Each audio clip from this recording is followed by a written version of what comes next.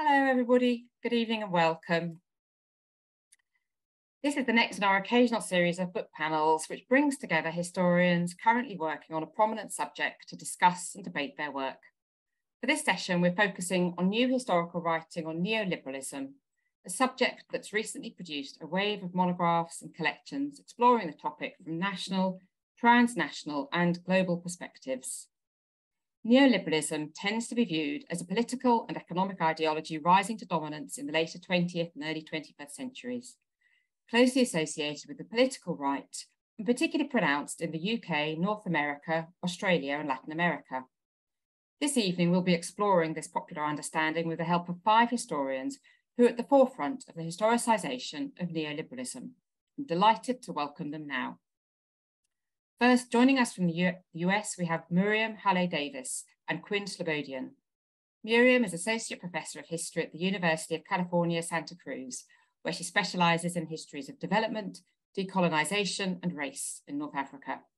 Her latest monograph, Markets of Civilization, Racial Capitalism and Islam in Algeria, was published last month by Duke University Press.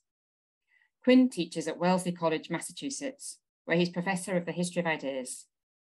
Quinn has written extensively on neoliberalism, including his 2018 book Globalists, The End of Empire and the Birth of Neoliberalism, he has co-edited several edited collections on the history of neoliberalism and has a new book arriving early next year called Crack Up Capitalism. Muriam and Quinn are joined by two historians from the UK. Gary Gerstle is Professor of American History at the University of Cambridge and the author of major studies on modern American government and democracy. His new OUP book, The Rise and Fall of the Neoliberal Order, America and the World in the Free Market Era, was published this year. Our fourth panellist is Florence Sutcliffe Braithwaite from UCL, where she's Associate Professor of Modern British History. Florence is the editor of the 2021 collection, The Neoliberal Age, Britain since the 1970s, which explores the political origins and influence of neoliberalism in the recent past. Lastly, it's my great pleasure to introduce James Vernon, who will host this evening's panel. James is the Helen Fawcett Distinguished Professor of History at the University of California, Berkeley, and has been central to the planning of this event, for which we're very grateful, James. James's own work on neoliberalism looks at Britain via the case studies of UK higher education and of Heathrow Airport, on which he published Past and Present in 2021, and which forms the subject of his next book, before I hand over to James, I'll just let you all know that we will be um, inviting questions from the floor and there's a questions and answer um, icon down here at the bottom of Zoom. And we do encourage you to put all your questions to any of the panelists in there rather than in the chat, as that makes it a lot easier for us to uh, keep a track of them. Uh, but that's enough from me. I'm handing over to James. Uh, thank you very much. And here's James.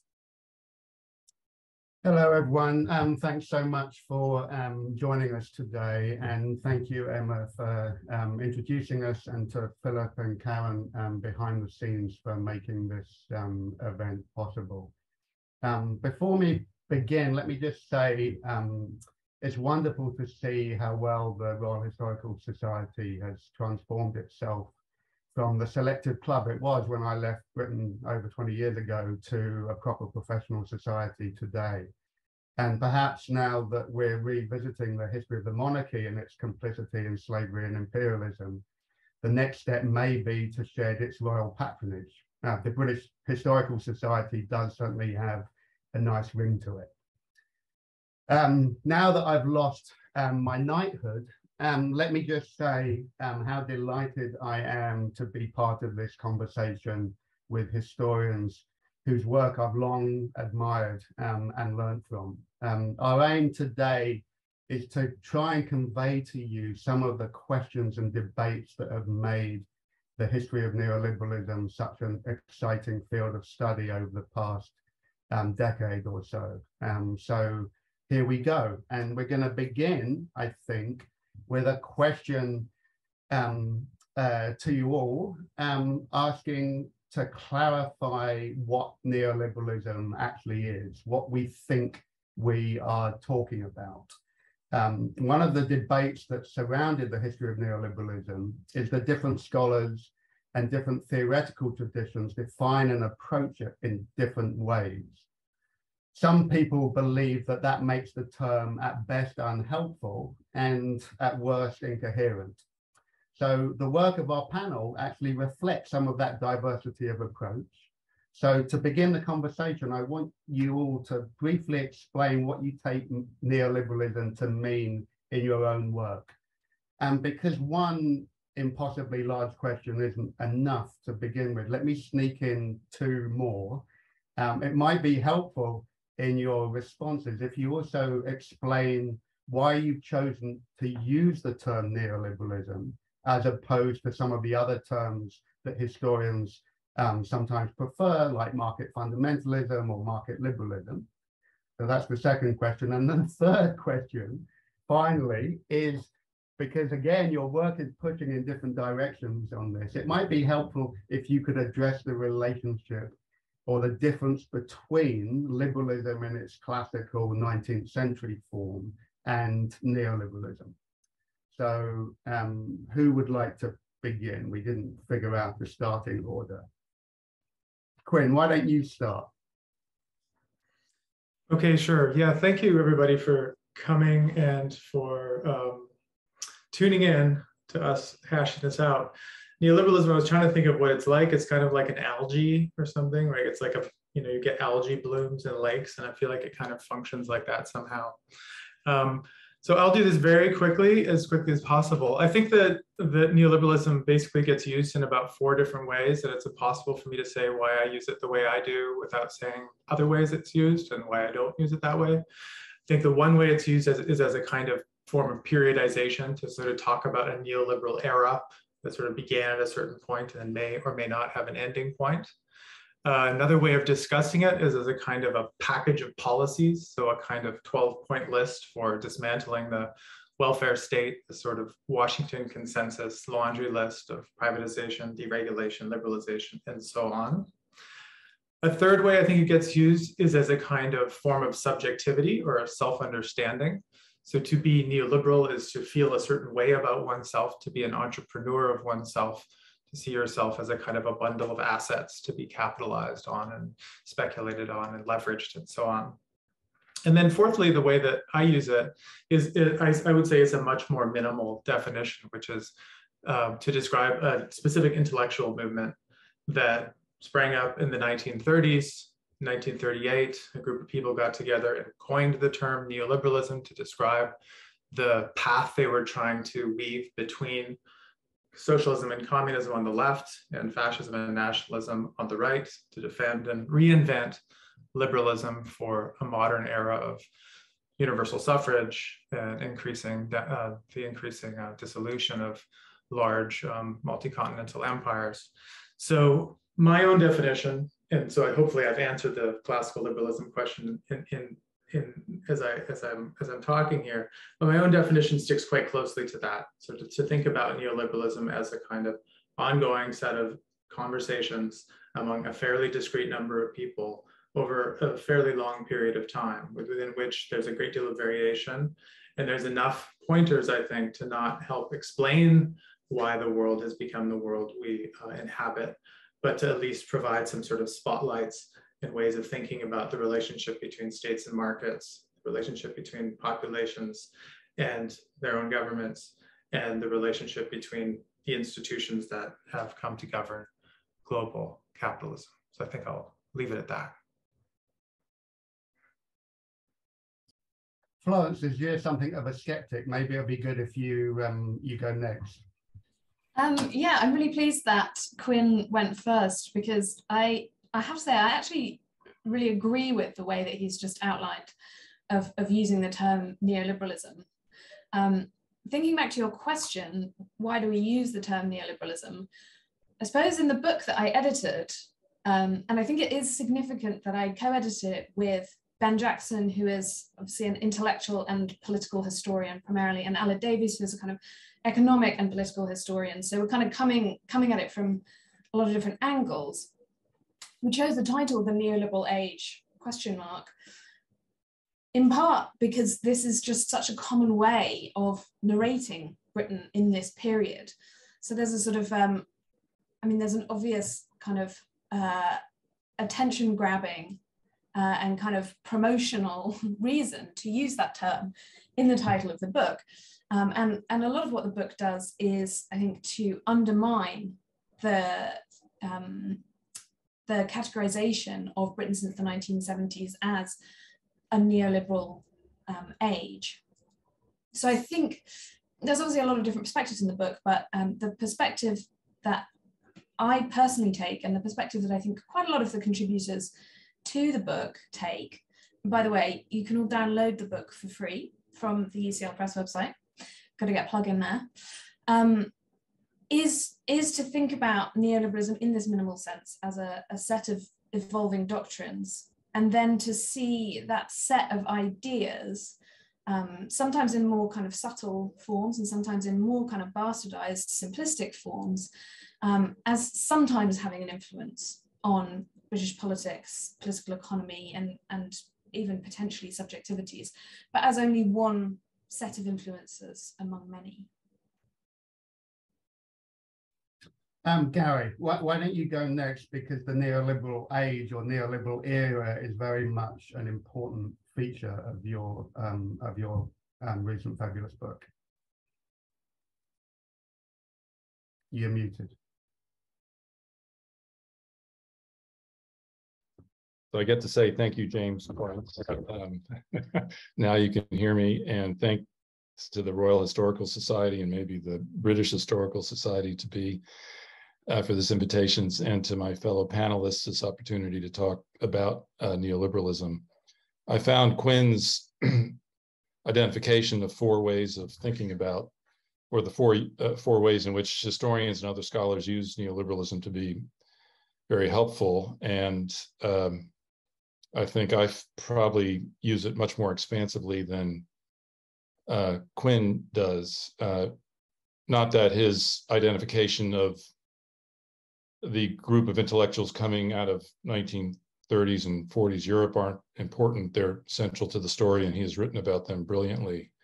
But I'm, I think, more interested in how expansive and how protean neoliberalism became and what enabled an ideology that had sp- pretty specific roots uh, to become so important, so hegemonic, and to define the terrain on which uh, many Americans from many different walks of life were doing their politics. Uh, I'm really most interested in how a set of ideas migrates from a specific set of origins, uh, how it merges with older American traditions of liberalism, and why it develops not only an elite set of strategies, but a popular base that allows it to dominate politics for uh, a very long period of time, uh, 30 to 40 years.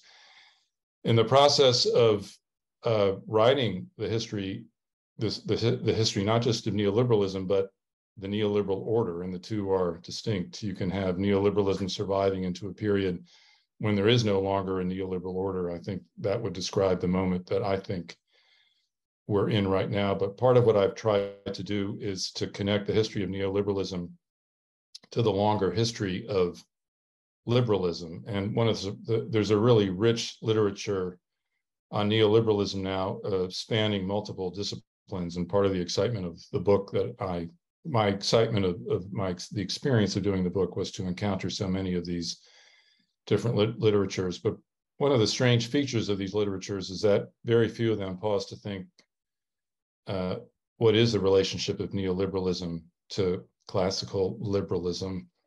And I think one of the reasons not sufficient attention has been paid to that is because too many people who study neoliberalism accepted the claim of the original neoliberals themselves that theirs was an utterly new form of liberalism that was not closely connected to classical forms of liberalism, which were disparaged in their eyes as laissez faire and their liberalism was going to be new because it was going to be intelligent it was going to use the state in strategic ways it was going to organize markets uh, and states in ways that laissez-faire liberalism had failed to do uh, the problem with that point of view is we've had such a rich literature on classical liberalism emerging in the united states and elsewhere and it shows that much of what the neoliberals thought was new was in fact being used in the 19th century.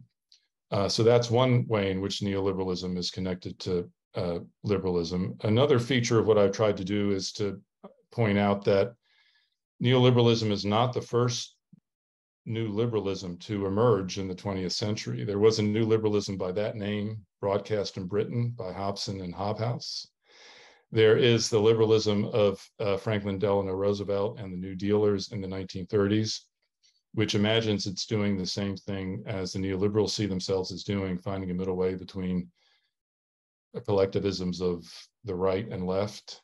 And even though the influence uh, of these earlier new liberalisms generally is not acknowledged by the neoliberals, it shapes the world in which they are striving to have a voice and striving to uh, gain influence. And from the start, they have to struggle against uh, not only their enemies on the left and the right, but they have to struggle against and distinguish themselves from other groups of new liberals who have gotten there first. And that renders the terrain of neoliberalism, in my view, much messier and much more subject to contestation than some renditions of the history of neoliberalism suggest. And I try and capture that messiness, that contestation in the history of neoliberalism and the neoliberal order that I write. Great, thank you. And and and Muriam, let's go to you lastly, but not least importantly, because your recent fabulous book actually uses the term neoliberalism quite precisely and and um, and the term that you use more generally to talk about the French colonial experience in Algeria is racial capitalism. So maybe you could say something about the interpolation of how you use neoliberalism and how you see it in relationship to racial capitalism more generally. All right, just to echo everyone's thanks for this panel and opportunity. Um, I, in many ways, was following the algae to go back to Quinn's uh, metaphor, in that I'm not a scholar of neoliberalism, I'm a scholar of, of colonialism in North Africa. And in following the economic debates, um, I was presented with a series of actors and discussions that very much are included in the history of neoliberalism, but perhaps colonial historians have been hesitant to label as such. And so, just as way of anecdote, one of the other titles for my book was going to be From Homo Islamicus to Homo Economicus. But I think that the publishers quite rightly decided that that was a mouthful. Um, but that is a way of getting at your question, James, about the fact that this notion of Homo economicus is at the heart of my work. Um, and one of the questions that's posed throughout the colonial period is can you make the Muslim subject into a rational economic actor? And the responses to this change, and even at a given time, people respond differently. But I'm interested in that problematic. So that's one way of getting to the racial capitalism part, which I'm happy to speak more about later. Um, the other point is that my economic planners, which I, I, guess I now refer to kind of affectionately as my economic planners, it's what happens when you work on technocrats, um, they are really at this conjecture of the global economic crisis, um, the kind of incipient possibilities of decolonization, um, looking at the horizons of European economic integration, and also very heavily influenced by social Catholicism and, and trying to find a kind of moral injunction for re um, reinventing the, the market, to use Angus Burgin's term. Um, and so, you know, in some ways, France is often left out of these discussions, except for you know a few notable exceptions, because we think of France as having a very statist um, regime of economic control and protection. And I think that that's true. But one of the interesting things is how, uh, in thinking about the market, the state, as we know, uh, as people who read about neoliberalism, never disappeared. And so I think, uh, you know, to come back to some of the comments that we've been just hearing, um, I absolutely do think that neoliberalism gets conjugated with other kinds of state logics and political questions um, that people have to deal with rather than being a kind of imported model that looks similarly everywhere at different times. Great, thank you all so much. And let's let's move on to a second question that I had for you, which in a way I think brings out some of that some of your responses nicely because it, it used to be the case that the ideas associated with neoliberalism in Euro-America were thought to be developed by these um, different thought collectives from the 1930s.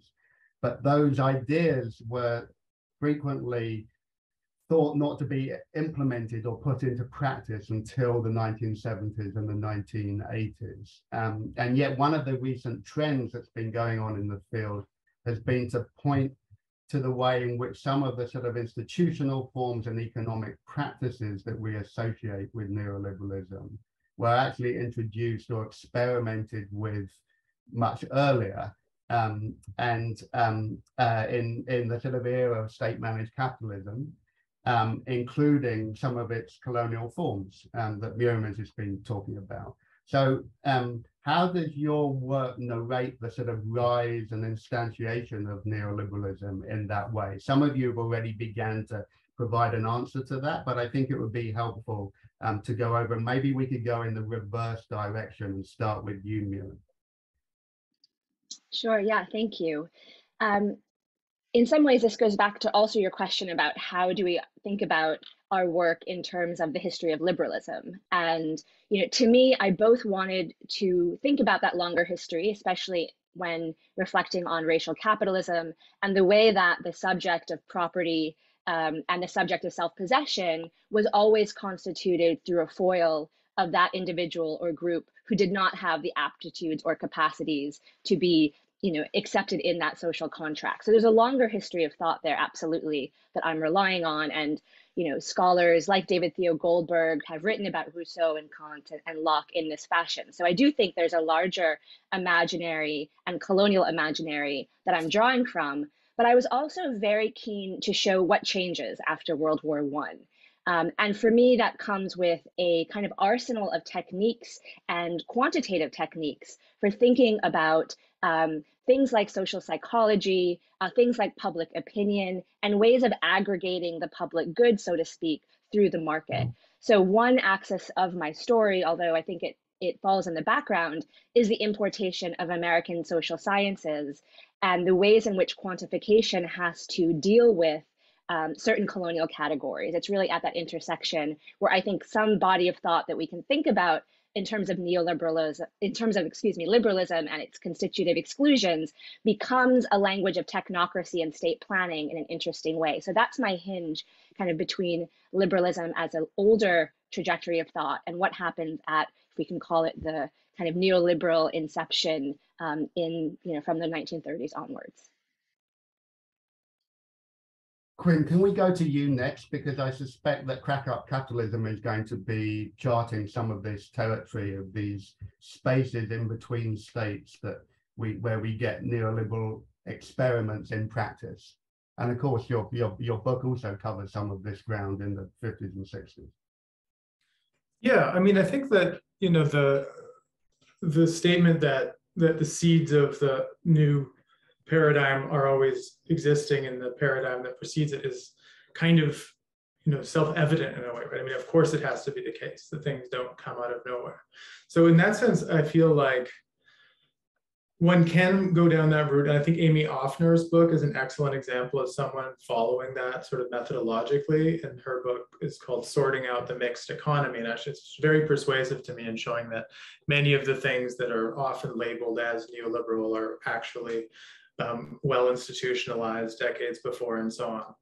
I'm kind of a little more interested, and maybe this is also just in, in, in, the spirit of the panel too, to think about the kind of the politics of naming a transition or naming the arrival of a new or the inception of a new paradigm. Uh, and this, I think, is really one of the things that comes out strongly in the neoliberal age volume, especially in Edgerton's, David Edgerton's contribution, which is this really strong point that you know we only really start talking about an era of social democracy at the moment that we start talking about an era of neoliberalism. In a similar way, Stefan Link, the Dartmouth historian, writes about how we only really start talking about Fordism when we've declared Fordism dead and we're now talking about post-Fordism. So I think that you know that declaration of a break or the declaration of a rupture, the declaration of an advent of a new paradigm is, you know, I think poorly taken by historians as simply an act of observation when it's actually an act of political intervention in itself, right? We're actually helping to produce the new paradigm that we're declaring. And part of me feels like, and I'll end on this, that one of the things that's interesting to me about the, um, the sort of way that neoliberalism as a category is being mainstreamed in the last couple of years, especially in the spaces of the work by people that I I like a lot, like Rana Foroohar and the Financial Times, for example, and people who are doing sort of commentary on the Biden moment, is I feel like we should pause to acknowledge that it itself is a kind of a, it's an attempted performative act, right? It's an act of putting to death neoliberalism by allowing it to exist, but only at the moment of its, um, you know, its imminent death. So in that sense, I think it's helpful to say, you know, when we talk about neoliberalism, are we actually talking about this paradigm that existed when, as we now know, we can just go and start poking holes in, the, in it as, as easily as, as anything? Or are we actually trying to make a statement of a new horizon of politics, which is in fact post-neoliberal, and that that's actually what we're talking about, right? We're, we're by deflection, by talking about this previous thing, we're actually talking about our hopes, our optimistic declaration about the direction of policy in the future. So I guess that that's what I would say is this. I think this attempt to sort of to sort of find precedents um, or declare sharp breaks is almost always in the spirit of celebration or condemnation, right? So we're often either trying to say this is excellent, we want it to continue, or this is the downfall of something that was previously wonderful. And I think it's impossible to talk about the popularity of the category without acknowledging its sort of resonance as a declaration of new beginnings. Right, but I also hear you saying there that in a sense what we're engaged in is a type of conjunctural analysis where we can see the ways in which um, various economic and institutional forms that we associate with what I guess we could think of as classic forms of neoliberalism in the 1980s were actually anticipated in at, at earlier moments, um, even before social democracy was declared um, uh, or state-managed capitalism was declared um, uh, dead. Um, so that's a nice segue. I want to we want to leave that conversation about how far we're moving out of a neoliberal age or neoliberal era to um, to the end of our discussion. But it's a nice segue to both Florence and to Gary in the sense that your um, uh, your work is uh, Gary, your work especially is very interested in that moment of transition from out of the New Deal political order into what you call the neoliberal political order. So maybe you could tell us about how you see that transition, uh, wh when and where you see that transition happening. Uh, I can, I, if I may, I wanted to say just a word first about the initial question you posed, James, if that's um, permitted, uh, on how certain forms of neoliberalism uh, may have had their most uh, well-developed manifestations uh, outside the core nations of the global north and in certain colonial spaces. A helpful way that I have found to think about this is the relationship of uh, liberty to order. Uh, this is very important to someone like Hayek, who wants to promote liberty in the world, but you can't have liberty unless it's ordered through constitutions and management of markets and all sorts of other things. Uh, and this was uh, this formulation was dear to the heart of 19th century liberals as well. Uh, Woodrow Wilson, Theodore Roosevelt, very adamant about promoting liberty in America, but also saying liberty without order is anarchy. It's something that they very much dread.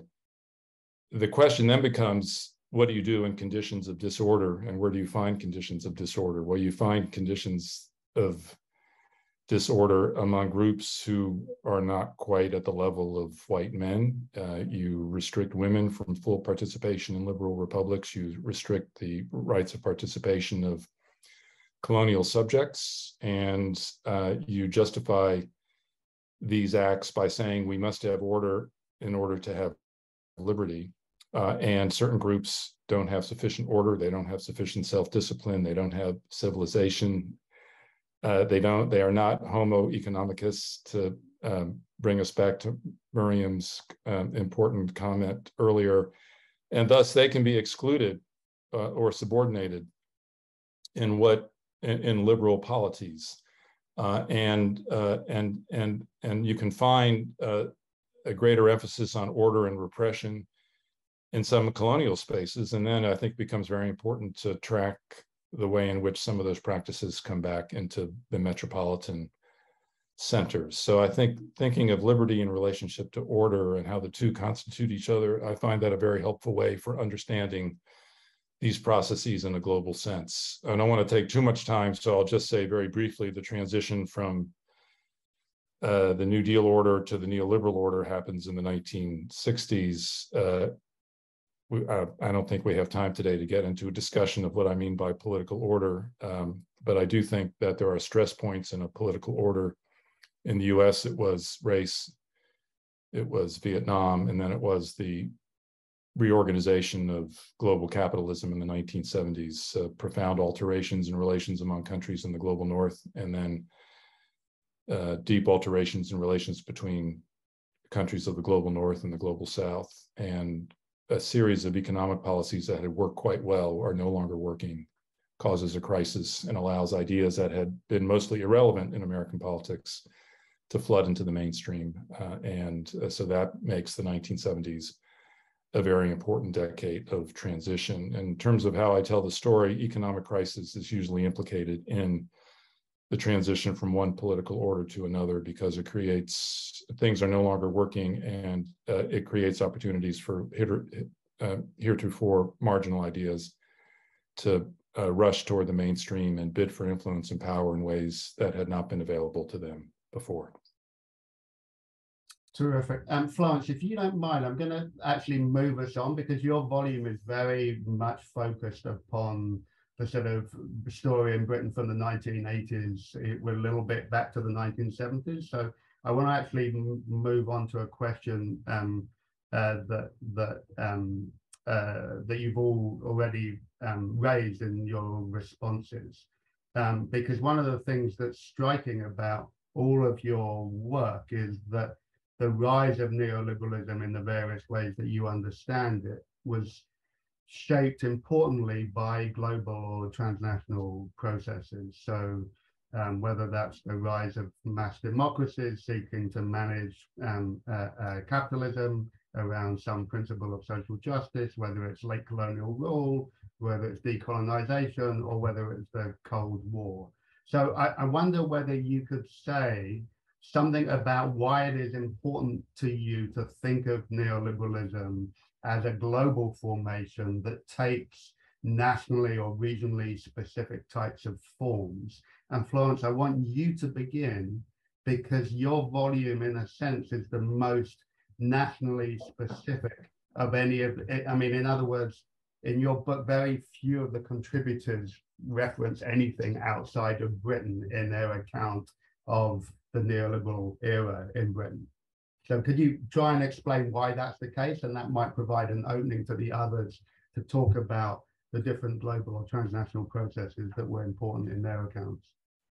Yeah, I think um, to start my answer, I'd probably go back to what Quinn just said about the framing of the term neoliberalism arising, the framing of the, the period from the 70s to the sort of say 2008 um, kind of arising as people want to critique that whole kind of collection of policies and ideas just as at the same time we get this upsurge of people talking about the preceding period as so, social democratic because we sort of want a mirror image against which to to um, kind of define neoliberalism.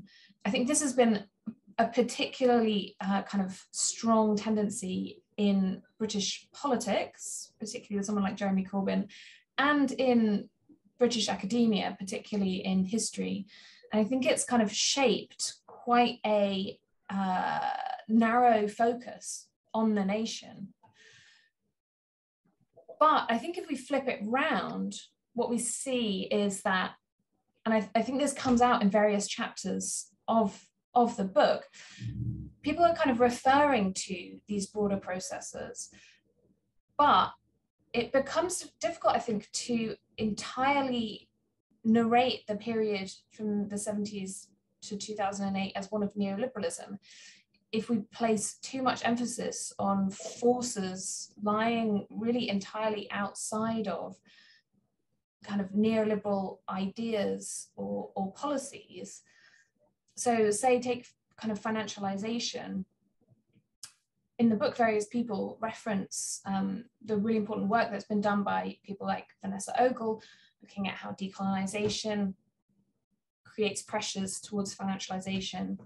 Uh, people like uh, Catherine Schenk and Jeremy Green talking about how the development in the City of London of the Eurodollar markets in the 1960s is also ends up creating pressures on global financial flows that lead to the breakdown of Bretton Woods and to further financialization. How do we kind of put these into the, the national story though, if the national story is very focused on the political economy of the state, of political parties, um, of a kind of ideological settlement. I think that's this is the kind of um, difficulty or conundrum that we end up with if we start with this very nationalistic, um, this very kind of nationally bounded story of social democracy to neoliberalism, because it's just focused far too heavily on domestic political economy, on politicians and their ideas, and it's quite hard to integrate some of these bigger global economic and political processes into that story. So we end up with a kind of slightly um, sort of awkward narrative. Um, and it's, uh, I think, for me, the way to get out of this conundrum is to probably use the categories of social democracy and neoliberalism less um, and to use them in more kind of bounded, um, marked sort of um, constrained ways. Um, Muriam, would you like to um, carry on and talk about that the very specific late colonial context of, of French Algiers and and and um, and and why it was that um, uh, why it was that the French Empire took such a different route to say the British Empire. Um, so I, I, have a slightly different reading to Florence there. I think you can't understand social democracy in Britain without thinking of the centrality of decolonization to it. But in the French case, we have a different formation. So could you talk a little bit about that relationship? Yeah, I think in many ways, um, I'm echoing your very brief comment there, in that one of the things I try to show in the book is that notions of economic orthodoxy are actually part and parcel of national myths. So the way that countries think about themselves in the world and their civilizational status is also articulated through their notions of planning um, and the kind of economic ideas that they're bringing to the table.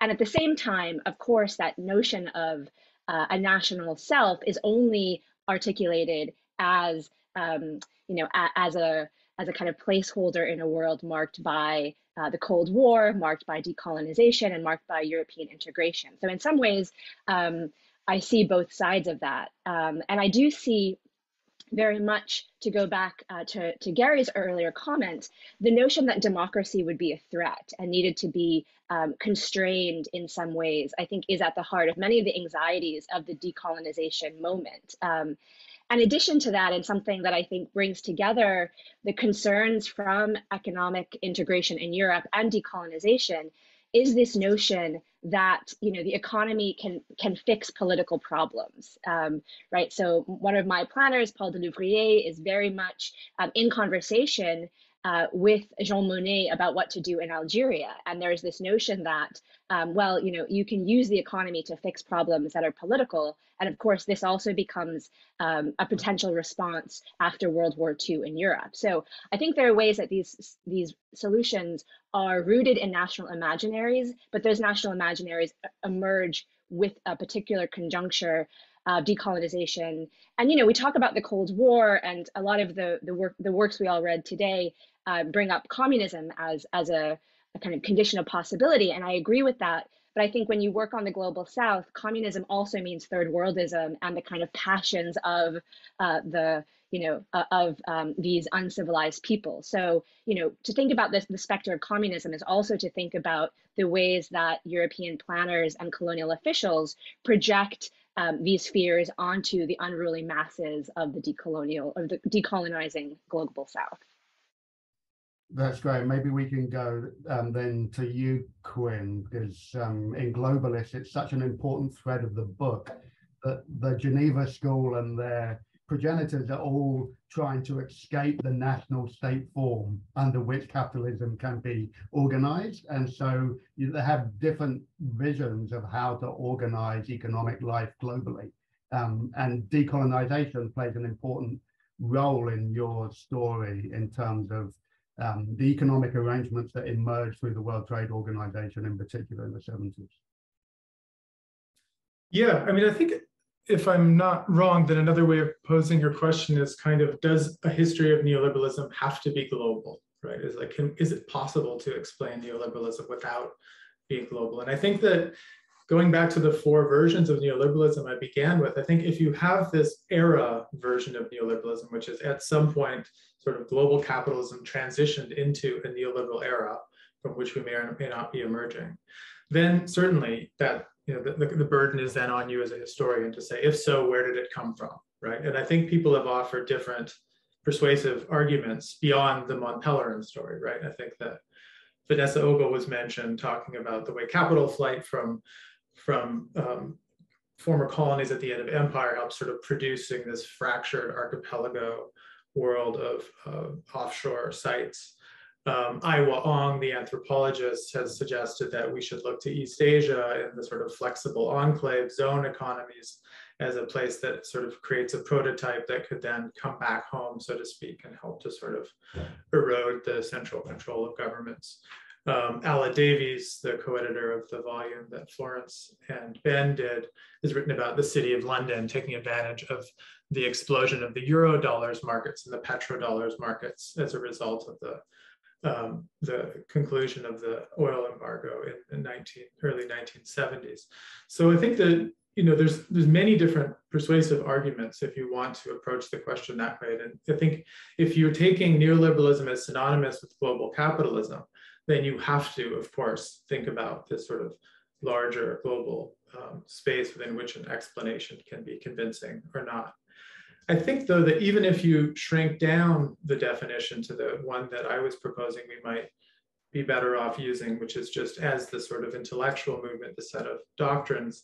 Even there, I think that my suggestion would be it still needs to be global or at least broadly comparative or put into a sort of a civilizational framework.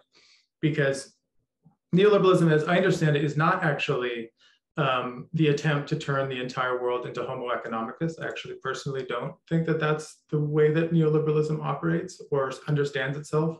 I think that in fact, neoliberals um, understand the problem as being what conditions are necessary under the shifting circumstances of human history to safeguard capitalism from its um, strongest competitors and its strongest opponents.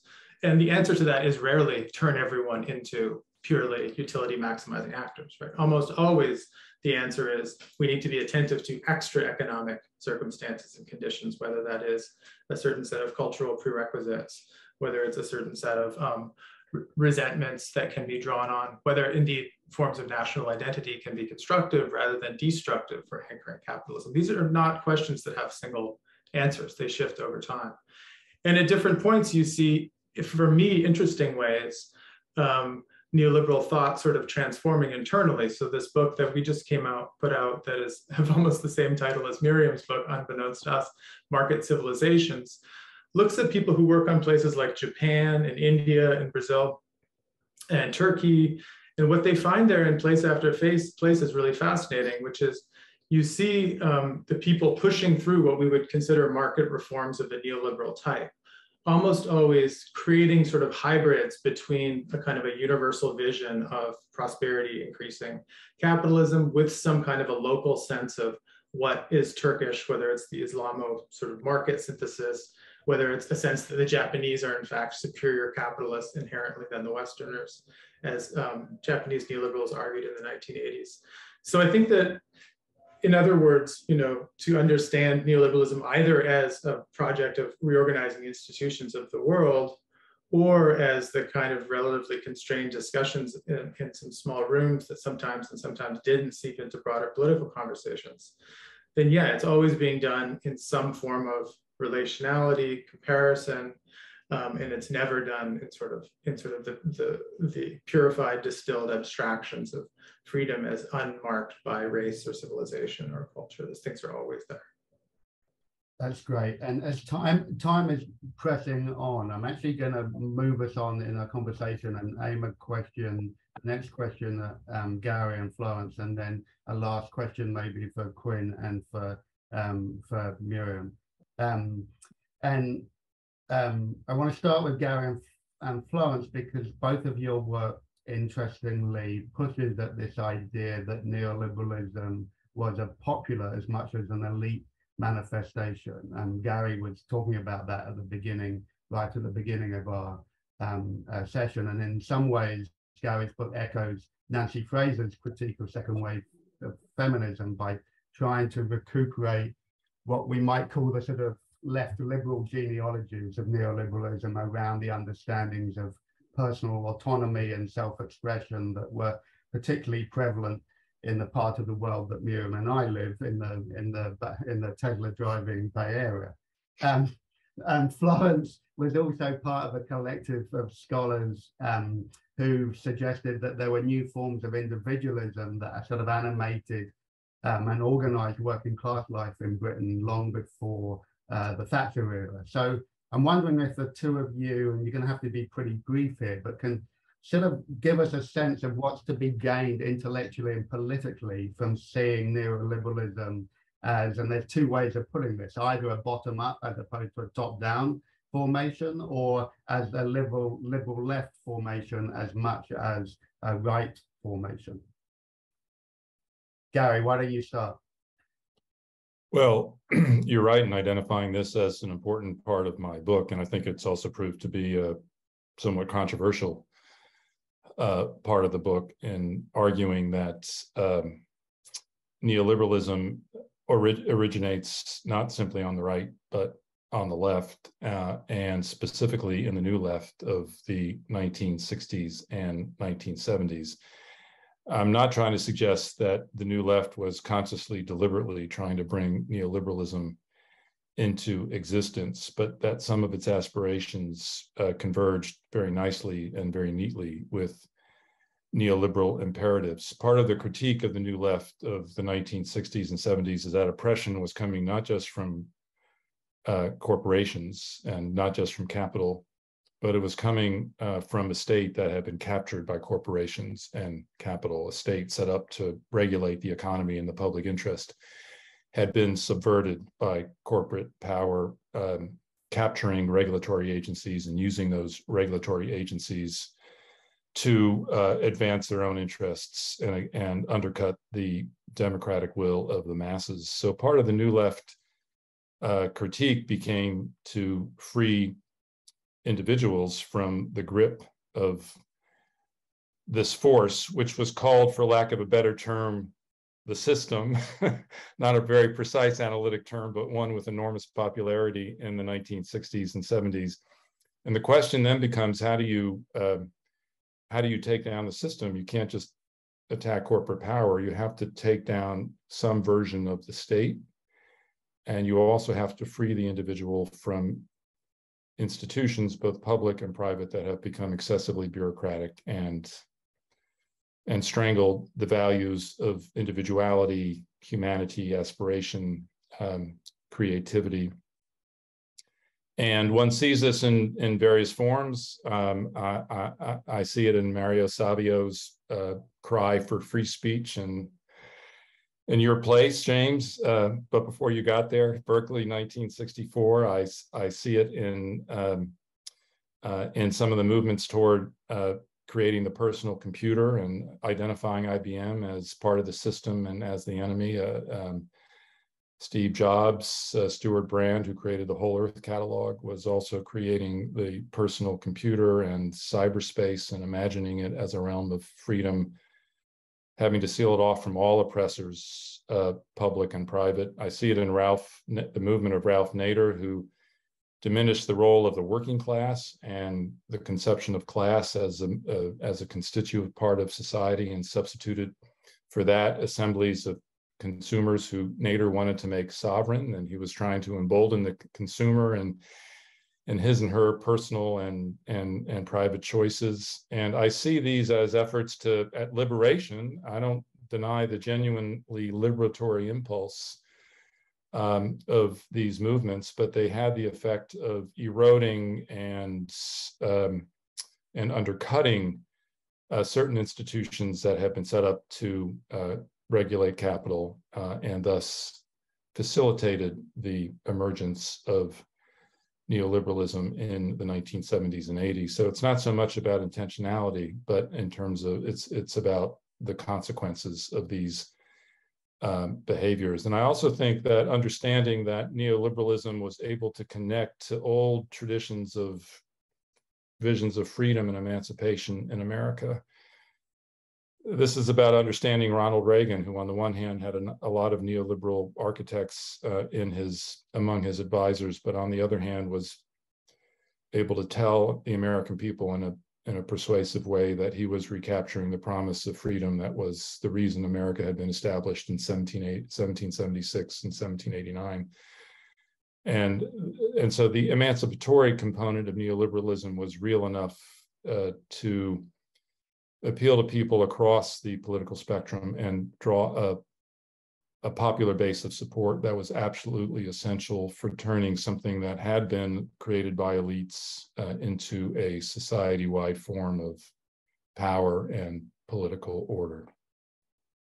Thanks, Gary, and I hope Moritz that's that's uh, the beginning of an answer to your um, to the question that you've um, posed in the in the Q and A. Florence, um, uh, uh, how um, would you like to respond to it? Yeah, thanks. Um, so I suppose I don't want to disagree with Gary, but the sort of the other thing that I think it's important to kind of think about is how helpful is it for us to see all of these sorts of currents um, what I called in the article that you that you referenced, um, James, with um, Emily and Camilla and Natalie, popular individualism as the sort of constituent parts of neoliberalism from the bottom up. Because I suppose that that way of seeing things, I think, is too teleological and it misses the extent to which this popular individualism didn't just lead people to, in some cases, support some neoliberal politicians and policies, it also put huge constraints on what those politicians could do when they were in power. So, for example, if you take the NHS or education in, in Britain, there have been some moves to try and introduce certain kind of market like structures into the NHS and into education, but they've been really limited. And a lot of the things that, you know, full blooded neoliberal thinkers wanted to do to the NHS and to the education system have just been completely impossible. And I don't think that we can kind of make sense of that without recognizing that the sort of popular individualism that we see kind of bubbling up in the post-war period involves a real sense that actually society and the sort of instantiation of society in the state is there to protect the rights of the individual and to ensure that each individual has the ability to, to kind of fulfill themselves in their lives. This is kind of the um, what Peter Mandler talks about in his book about education in post-war Britain as the sort of democratic impulse in education, which has led to just a consistent expansion in secondary and higher education pretty much throughout the post-war period. You know, people wanted more education. And why did they want it? Because there's they sort of have this simultaneous belief in the importance of education for all. So there's a kind of universalist collectivist component, but why education for all? Because education is, is connected with opportunity and the development and self-fulfillment of the individual. So that's why I wouldn't necessarily want to see this as, as kind of neoliberalism from the bottom up, because I think that sort of narrows the way that we that we see these cultural um, currents. And I think that they have outlets not only in neoliberal policies and ideas, but also in other really important places that are not neoliberal at all.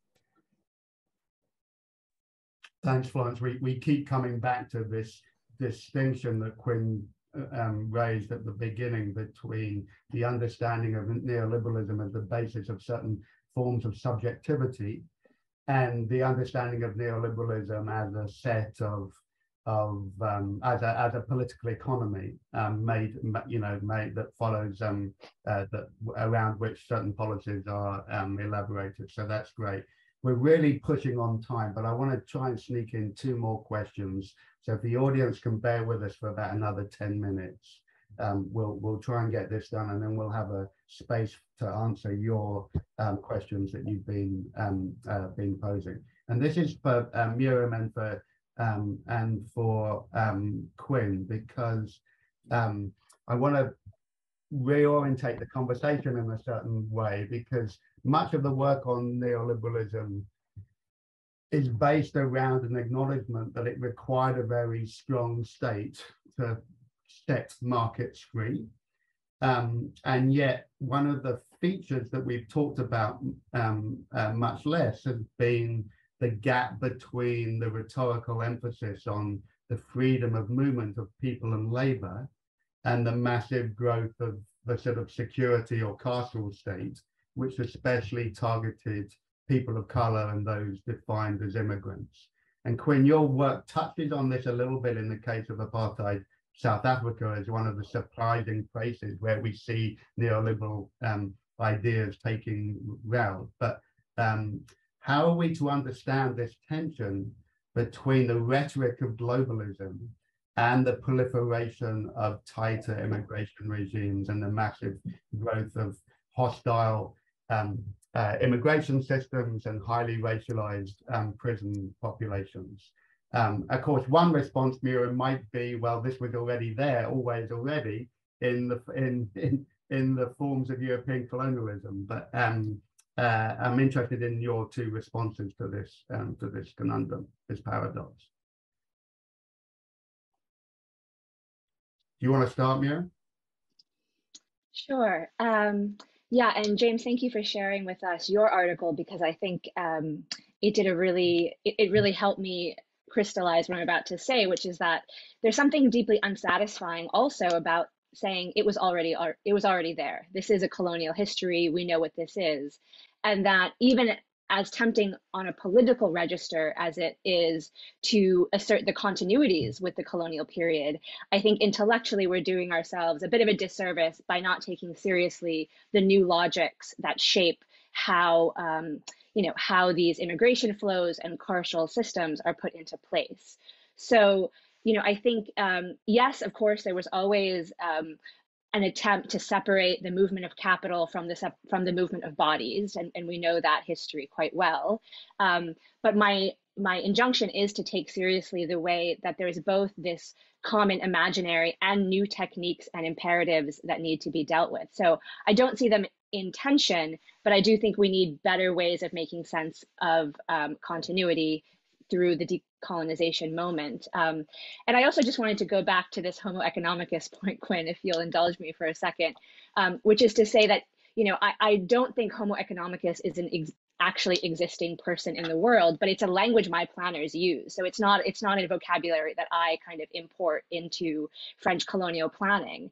And so as a trope of or cultural form i do think that homo economicus does certain kinds of work even if it's just to say for example in the japanese context that look um, japan has a cultural heritage that um, you know excels at, at, these kinds of capacities and aptitudes. But i do think it, it structures uh, a conversation and, and, acts as a kind of grammar, even though, of course, this is a form or a trope um, and not, you know, even in Adam Smith's sense, has been uh, rampantly uh, disfigured in many ways. So just, I want to be careful on time here.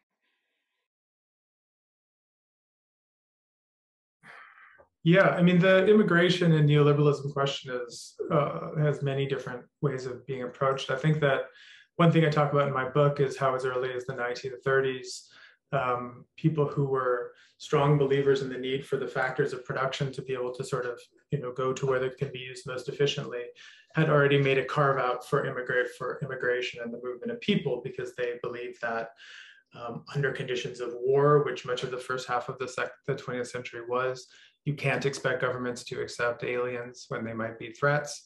So if you can increase the the flow of trade and, and finance, then you can compensate for the lost efficiencies of the free movement of labor. And that becomes a kind of a set piece in international trade economics beginning in the 1930s. So part of it, um, especially in the earlier period from the sort of the purist point of view of, of neoliberalism is that it's a kind of a pragmatic bending to circumstance. Okay, white people tend to be bothered by the, the presence of Asians in large numbers. So therefore, something like the Oriental Exclusion Act is understandable given the circumstances. So often it was sort of phrased as a kind of concession.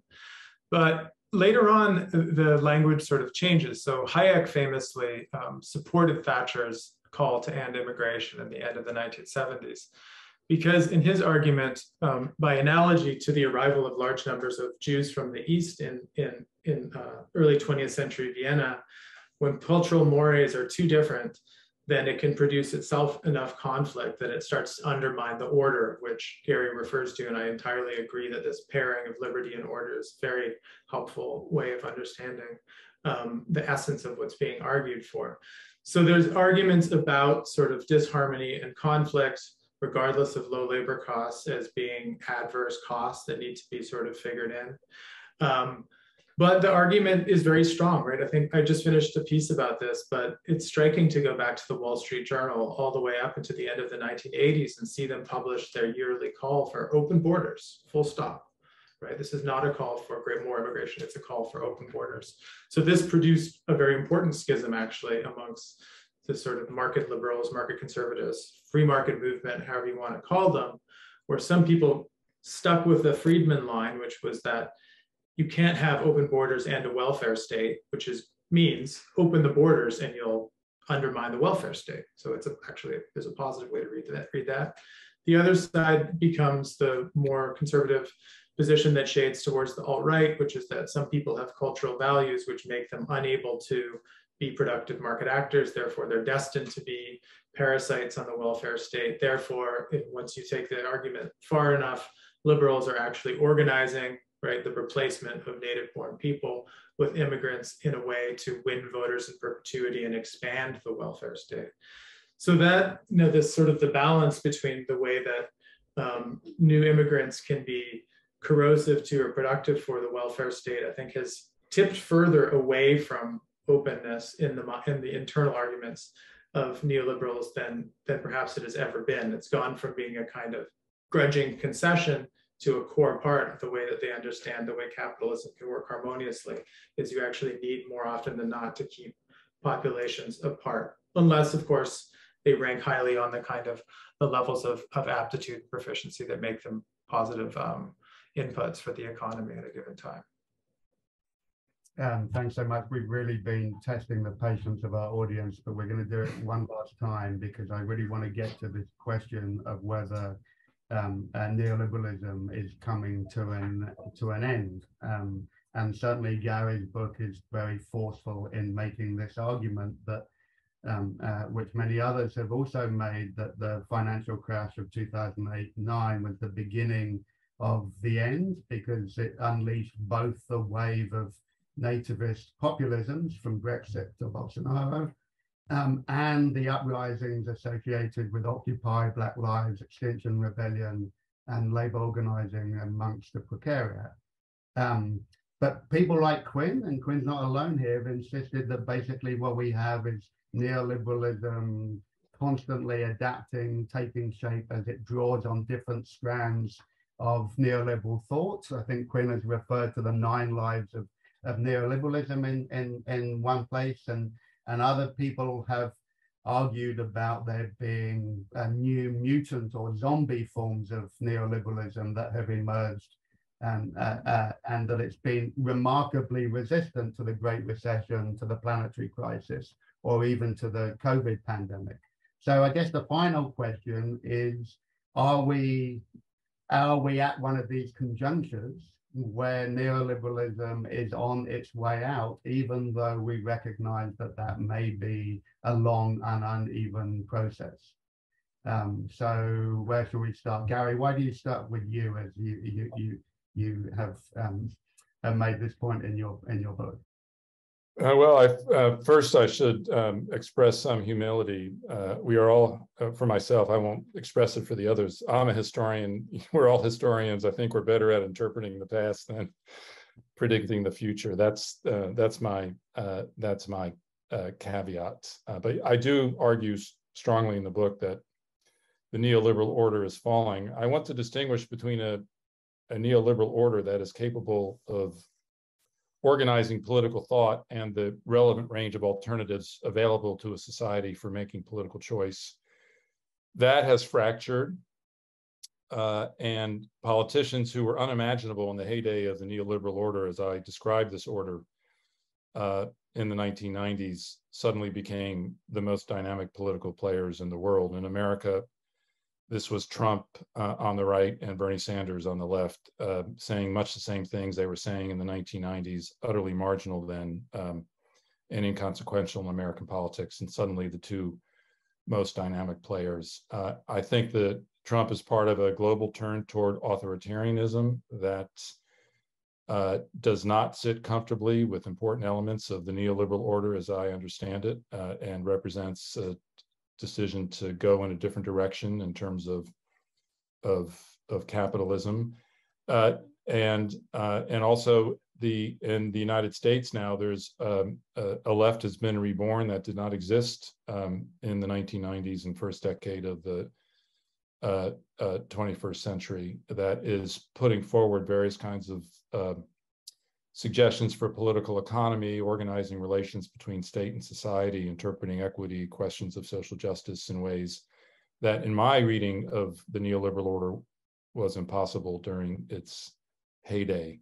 One of the shorthands I use for understanding whether the uh, neoliberal order is ending, I talk about, sometimes I talk about the four freedoms of neoliberalism. These are different from Franklin Roosevelt's four freedoms of 1941, which had a strong social democratic tinge these are the four freedoms, free movement of people, free movement of goods, uh, free movement of information, uh, free movement of capital. Uh, this, uh, in certain imaginations, was the goal of a globalized neoliberal world for capitalism. Uh, and they were accepted in the 1990s uh, in large stretches of the world as, as the way of the world. And each of them has been challenged severely, powerfully don't need to say anything more about how freedom of movement of people is being challenged everywhere in the world now. You could not be a protectionist uh, 15 or 20 years ago and have credibility uh, in economic affairs. And now it's a very, very legitimate position. Managed trade is replacing uh, free trade. We imagined that the world of information that we inhabit, uh, a world of information available to us from every country instantaneously, as simply being the way of life from here going forward. And now we're seeing the efforts on the part of various countries, China, Russia, Turkey, among others, to break up this digital universe uh, and create their own digital universes that have gateways to which you have to be admitted. And Ukraine is demonstrating uh, the uh, the most has led to the most severe restrictions on the movement of capital that we've seen really since Bretton Woods collapsed and is inclining states to rethink their relationship to the economy and to ask questions of what goods do we need? Where are we going to procure them from? Can we rely on the private sector to produce them? The answer is no. Do we need an industrial strategy? The answer is yes. So we are seeing a profound rethinking of the role of states uh, in society. And all these uh, elements lead me to think that we are moving into a different world. It's a world characterized by huge amounts of disorder. It's a world of fear. I also think finally that Liz Truss is a beautiful illustration of the collapse of neoliberalism and the neoliberal order. I see her project now as the death throes uh, of uh, of an order that can no longer be implanted.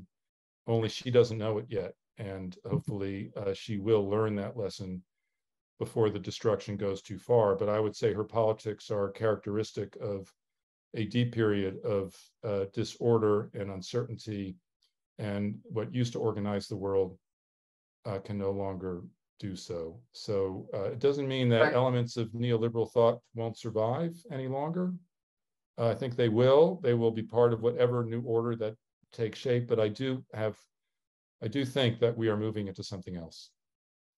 Um, thank you. Um, do any of the um, the rest of you want to have a stab at this question? I'm not going to ask you specifically, but just un, un, unmic yourself if you have thoughts that may diverge from Gary's or, or complement his.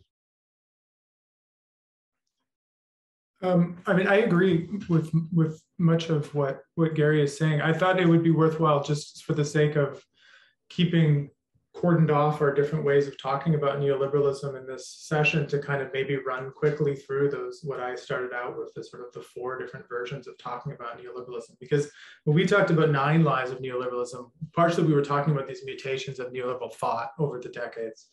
So if you think about it in that way, I mean, I was looking recently at the 2020 Mont Pelerin Society meeting at the Hoover Institution. It was great, right? Peter Thiel closed it out.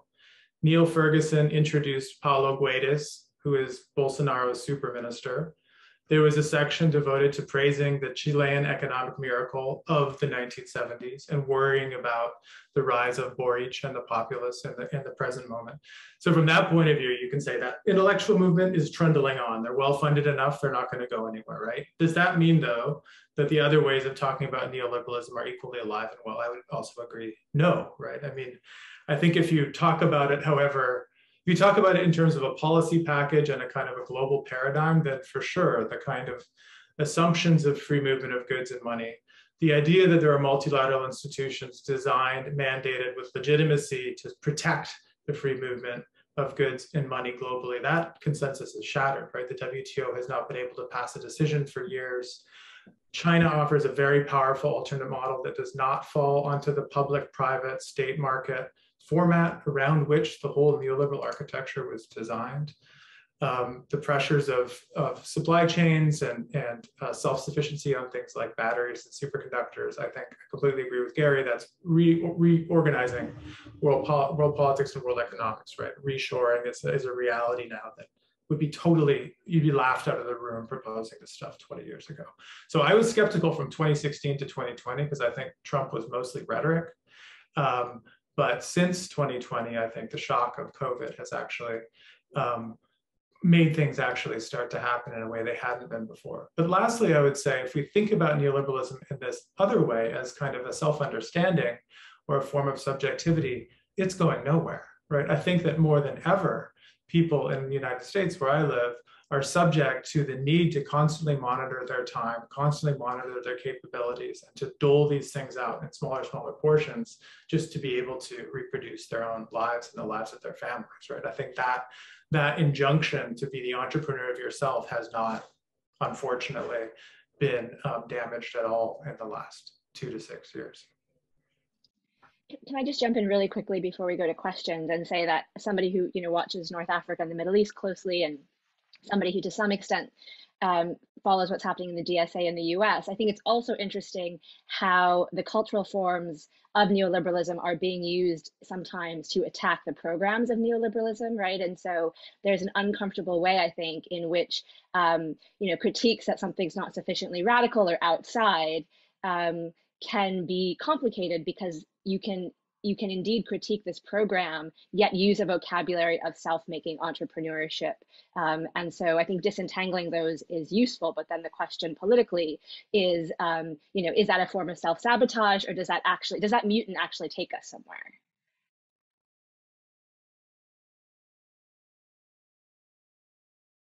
Florence, any thoughts? I just wanted to um, pick up on what Gary said about Liz Truss, which I thought was brilliant.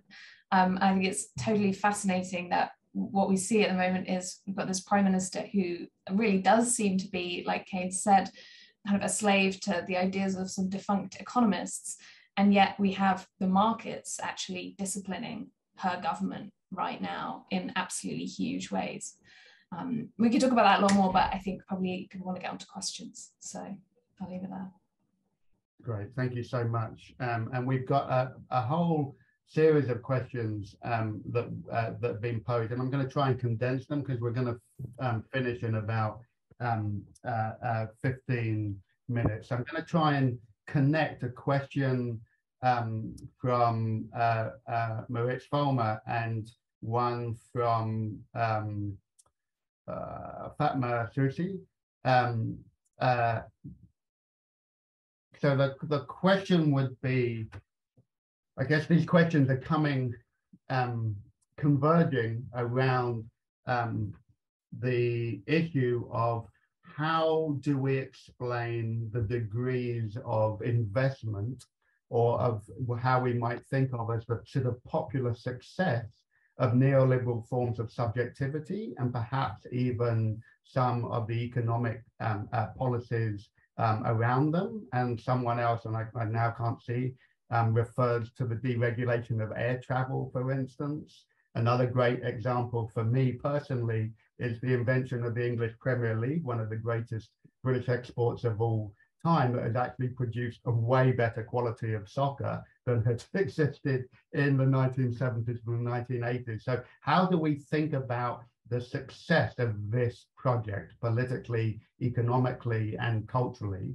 And then Fatma's asking us to approach this from the other direction, possibly, and to think of the ways in which that success might have always been somewhat qualified or limited. Um, and she's asking us to think about the different forms of, of social movements that have emerged over the last 30 or 40 years and how we would think about them in relationship to the sort of hegemony of the neoliberal um, project, if we can call it that, um, over the past decades. Um, I don't know if anyone has any thoughts, and if you do, just unmute yourself and jump in.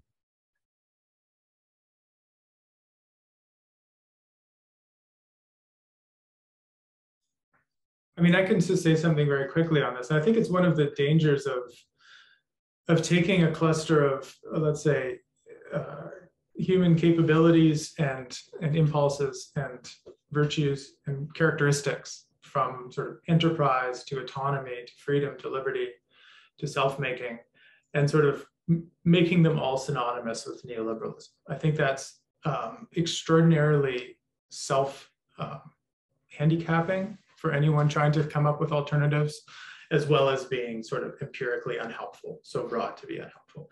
However, that doesn't mean that there aren't moments at which neoliberals have been very adept at tapping into precisely those kind of reservoirs of human meaning making, right?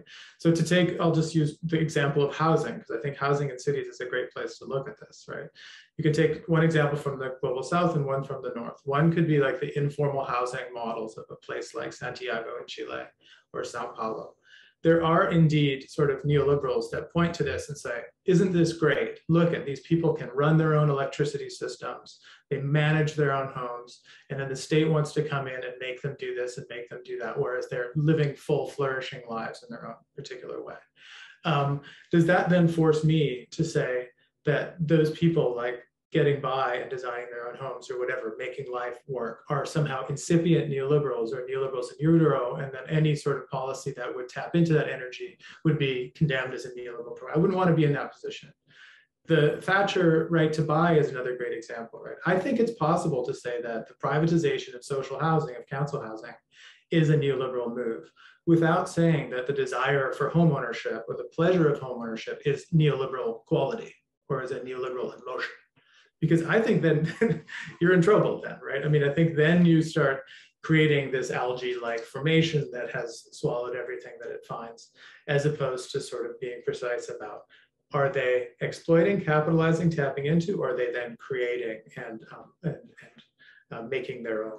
I think that's a very broad way to answer what is a very broad and important question. Can I can I say something, James? Or? Uh, pick up on a, a, phrase that Quinn has used a number of times neoliberal forms of subjectivity and how powerful they are.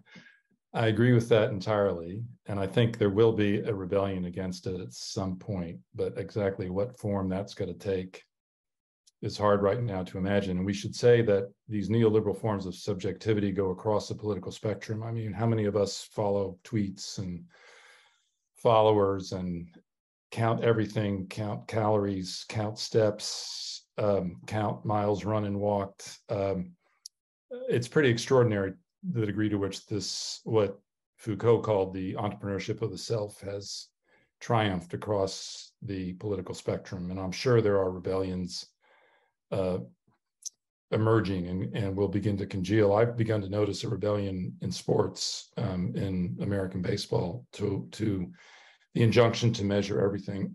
and here, classical liberalism has something to teach us because the Adam Smith of Wealth of Nations and the creator and the, or the, the theorizer of Homo economicus was also the author of Theory of Moral Sentiments. And part of the message was there are elements of human activity that can't be subjected to this kind of calculus of entrepreneurship, love, virtue, uh, democracy, uh, autonomy.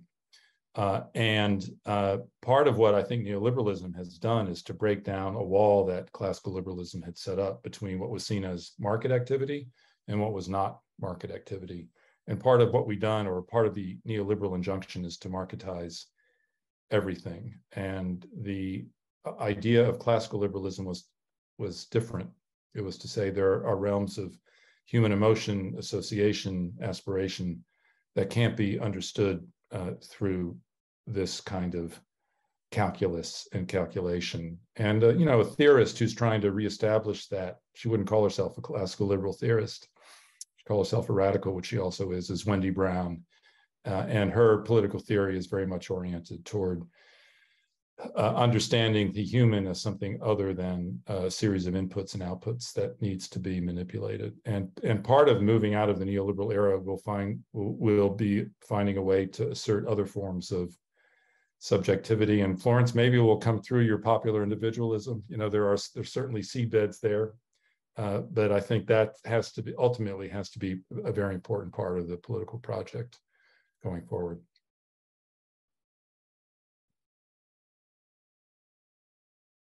Florence and Muriam, any any any thoughts?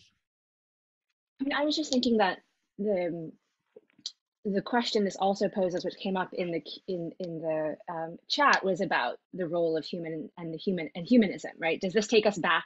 Is the way to buffer neoliberal um, attacks to talk about the human in new terms and did, you know are we so post-human that that we've lost that as a vocabulary um, so i think humanism is one thing that has come up in this conversation that um, perhaps we could take further. But the other is, you know, and since Bruno Latour just passed away, our consciousness of the way that the material world impinges on human nature and certainly on our possibilities. So um, I just wanted to throw that out there because it's you know it's interesting to think about Foucault and the entrepreneurship of the self, and also um, to appeal to questions of kind of virtue or humanness that we've lost. And, and I don't exactly know how to how to make sense of those.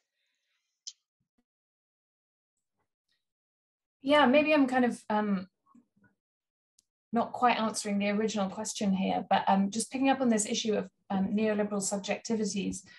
There's a couple of chapters um, in the neoliberal age um, by Helen McCarthy and Sarah Maas that look in really interesting ways at how some of the, the sort of elements that we often associate with neoliberal subjectivities were present long before the general period where we think neoliberal, neoliberalism happened um, and were kind of pushed back against by lots of people in the era of neoliberalism. So Helen talks about the way in which women were uh, told that they had to be superwomen, doing it all, having a career, looking after their family in the 80s, 90s, 2000s.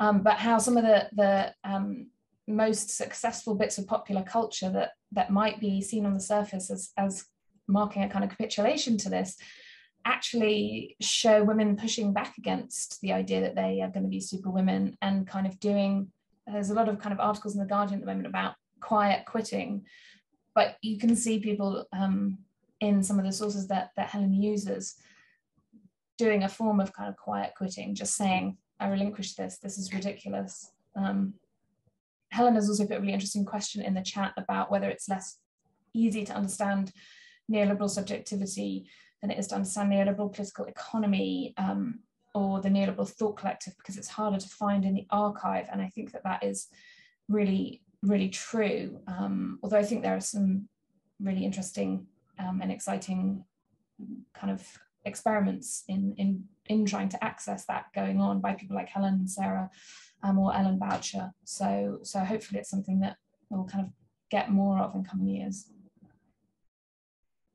Thanks, Florence. And I was actually just about to ask you a, a version of, of Helen's question um, here, which is um, to trying to get us to think not as uh, looking in our crystal balls about when um, neoliberalism um, uh, is coming to an end or taking different shapes, but to think about the work that we have as historians in terms of making sense of its past, its present, and its and its possible future in terms of the different archival strategies that are available for thinking about neoliberalism as a set of subjectivities or neoliberalism as a set of uh, ideas and, and thought practice or neoliberalism as a set of um, uh, economic practices and, and, and, and policies. So I wonder whether any of you have any words of wisdom to uh, folks out there in the audience who may be thinking that they want to engage in histories of neoliberalism, like where would you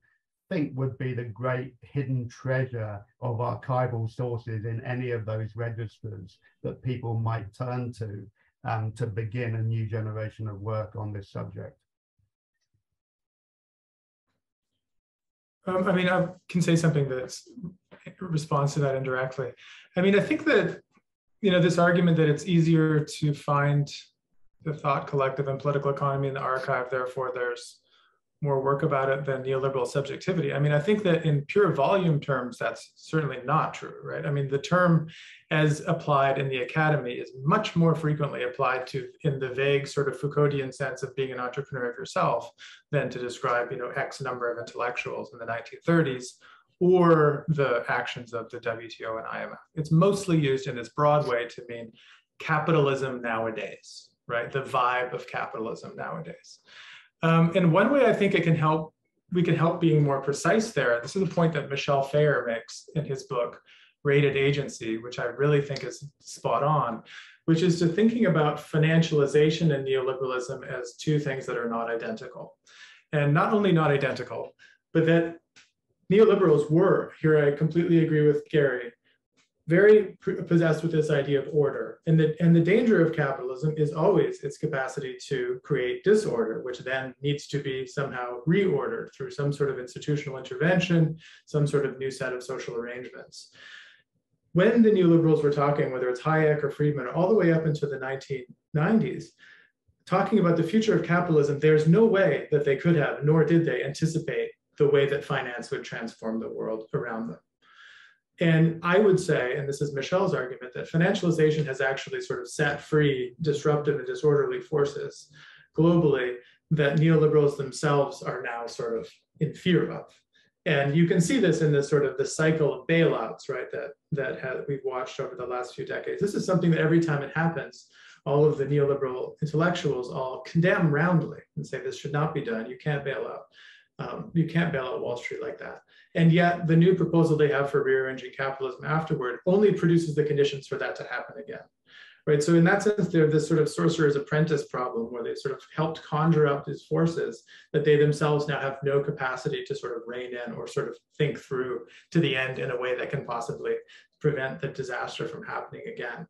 So I think, and other people have written about this, Aeron Davis, A-E-R-O-N, has a nice article called Separating Financialization and Neoliberalism. So for people wanting to look more into this, I think it's really helpful to keep those lines of in inquiry kind of distinct.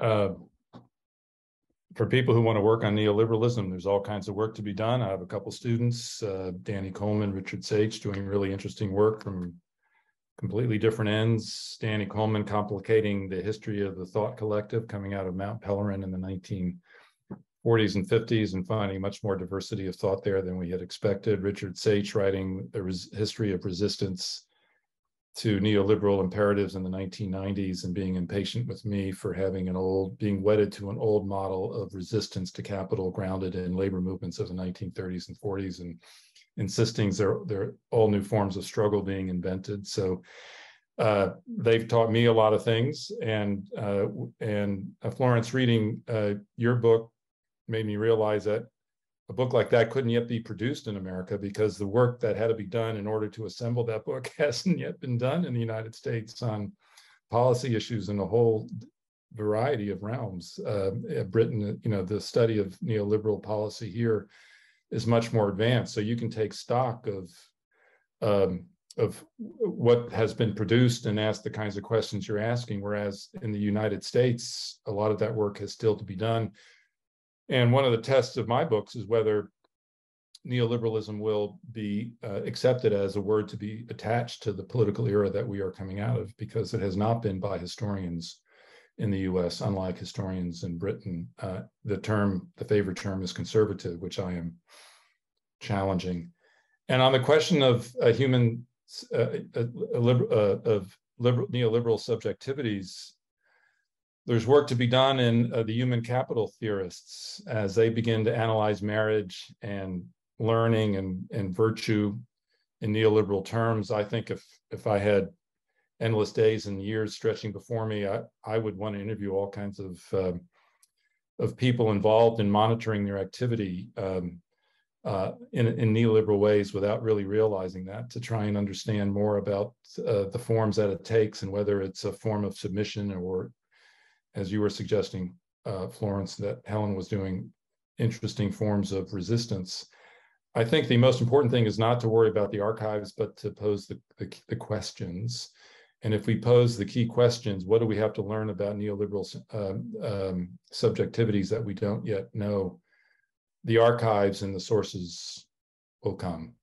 Uh, I don't. I don't worry about that. Um, at all. I think the key thing is to is to pose the question. And as someone who wants to begin thinking about neoliberal forms of sub subjectivity, you can't do anything better than go back to Foucault's um, lectures at the Collège de France in 1978-79. And you don't have to agree with his answers, but his ability to articulate the importance and the power of this neoliberal subjectivity will give you all kinds of thoughts about ways of studying this phenomenon and how it came to be so important in the world we inhabit.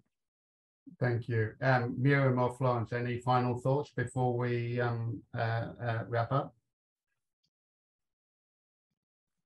I'll just say quickly that I think economic history was at the margins of empire for a long time, kind of um, for the last 20 years. And people like Madeline Woker, who's done amazing work on comparative tax regimes, um, and I think I do think when working from the global south or in places where the archives are um, either in foreign languages or inaccessible, I do worry a bit about archives, perhaps a bit more than Gary, and think that um, what has been a purview of, you know, I think that that's changed in the last 10 years, but um, also to look at how these discourses and practices have impacted countries um, in after independence and not only in terms of kind of continuing economic dependencies but the way that um, nationalisms and cultural authenticity discourses continue to have um, traces of this is something that we should be looking at rather than just siphoning off the colonial as kind of where the action was and now um, everybody's gone on their merry way. I just suggest one um, line of inquiry that I think will be really productive and fruitful is looking at um, the histories of sort of resistance to neoliberalism or neoliberal subjectivities. I think one line of inquiry that is maybe a bit less sexy, but I think would be incredibly interesting, would be looking at the how much neoliberal ideas have infused um, the actions of local government in the UK, because local government does remain important, even though it's hollowed out to quite a large extent under Thatcher. Um, and I think there would be some interesting stuff to find there about maybe the more kind of banal instantiations of neoliberal ideas in reality. Thank you all. Um, it's been a real pleasure um, hearing you have this um, uh, conversation, and I want to thank you all for your um, for your time. It's very definitely beer o'clock in um, in the UK. Unfortunately, Quinn and Muriam and I have a little longer to um, uh, to wait, but no doubt we'll be heading for caffeine. Um, I want to thank um, Emma and everyone at the Royal Historical Society. Thank you so much for giving us the opportunity for having this conversation, Emma. Well, thanks are really owing to you, James. Thank you so much for organising and chairing such a wonderful panel. Um, thank you very much to all our panelists for splendid discussion and to all of our audience for participating and helping to make it such a, interesting event. For closing, I would just like to flag our next event, which is a public lecture held at the City of London, and it will, of course, also be live streamed. In order to mark the 75th anniversary of the partition of India, broadcaster and historian Kavita Puri will be delivering a talk on the partition of British India 75 years on, on Tuesday, the 1st of November. Um, as I say, it's in person in the City of London and online, and you can find out how to book on our website. If you are new to the Royal Historical Society, and we are currently very much the Royal Historical Society rather than the British Historical Society, though I hear your uh, suggestion there with great interest, James, do please consider joining us. It's been wonderful to see audience members from all over the globe today. And it's worth stressing that we are most certainly not actually just a British organisation, we are an international membership organisation with opportunities for historians to join us from all backgrounds and at all career stages. So if you would be interested in finding out more about our work and about how to get involved, do please have a look at our website. But with that, I will just say um, thank you very much again to James, to all our panelists, and I wish you all a very good evening. Good night.